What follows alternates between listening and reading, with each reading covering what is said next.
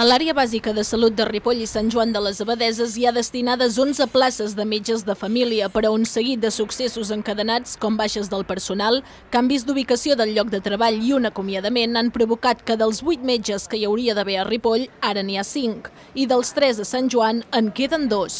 Això significa que a la capital un 34% dels usuaris s'han quedat sense un metge de capçalera assignat, un de cada 3 ripollesos. Ja fa molt temps que patim aquí al Ripollès en concret que és del que jo parlo, i d'altres zones, suposo, perifèriques de, de Catalunya, o sigui, zones allunyades d'àrees metropolitanes, la manca de professionals. No?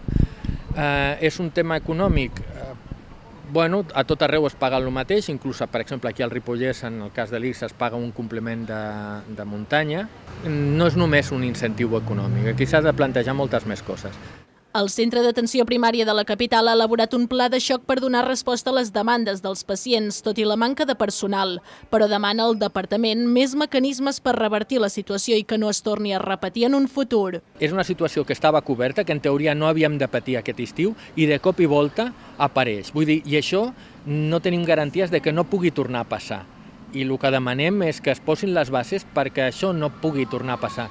El director de l'ABS considera que s'haurien de destinar més recursos a poblacions allunyades de les àrees metropolitanes. On incentivem que se situen els millors especialistes?